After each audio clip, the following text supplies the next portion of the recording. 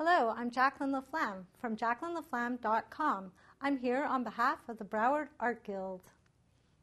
In this clip, I'm going to show you how to paint smoke on canvas. We're going to start off with the darker colors first.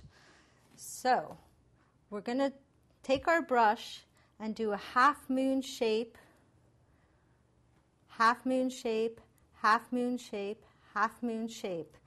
As you can see, I'm putting the darker colors towards the bottom edge. Then we're going to dip the brush into some white paint and just start blending various shades of gray, various shades of gray, and various shades of gray. So you just keep doing the half moon circles over and over again. Basically, smoke is just made out of black and white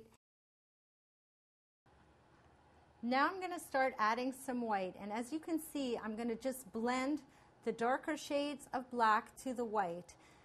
You're going to want to get several different shades of gray in there and you just keep repeating these half moon circles, half moon circles until you get your colors.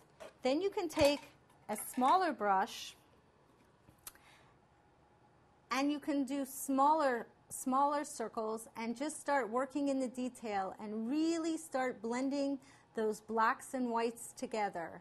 And as you're as you're working, just keep going in those little circles. Add a little bit more white if you want to lighten certain areas. Think about where the light would be hitting the smoke. Then you can always go back to the black and just highlight the bottom so you see how this white portion here just pops right off the canvas and creates a little bit of dimension.